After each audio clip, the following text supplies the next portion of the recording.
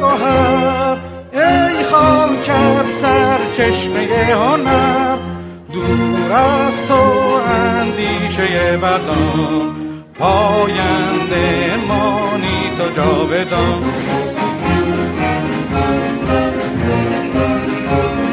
ای دشمن تو سنگ خاره ای من آهنم. خاک پاک میهنم.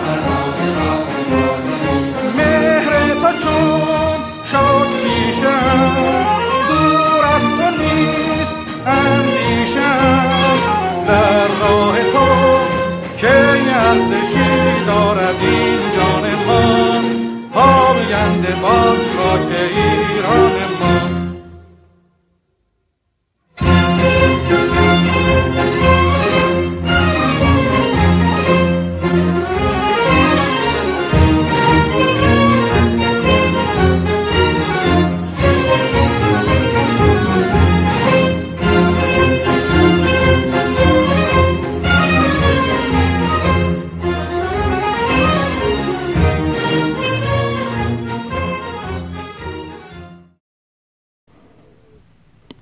همبستگی ملی ایرانیان اتریش و دیگر سازمانهای هما همگرایی ملی ایرانیان به مناسبت یک می روز جهانی کارگر ضمن قدردانی از کارگران زحمتکش ایران اعلام می‌دارد که ما پیوسته و در هر شرایطی پیگیر حقوق از دست رفته شما عزیزان و به خصوص کارگران شریف دربند و ملت بزرگ و نجیب ایران هستیم.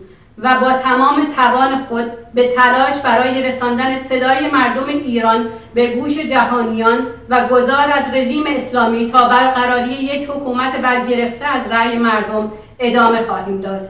در اینجا از همه گروه ها و سازمان های میهنی دعوت می کنیم تا هرچه زودتر و تا فرصت باقی است با کنار گذاشتن بحث های 41 ساله گذشته برای نجات ایران و ایرانی در یک همگرایی ملی و فراگیر به حرکت درآییم. همبستگی ملی ایرانیان اتریش وین دوازدهم اردیبهشت 1399 برابر با یک مای 2020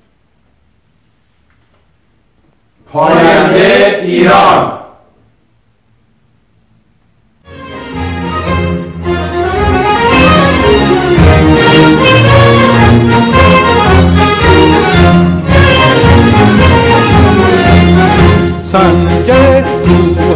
مردم گوهر است.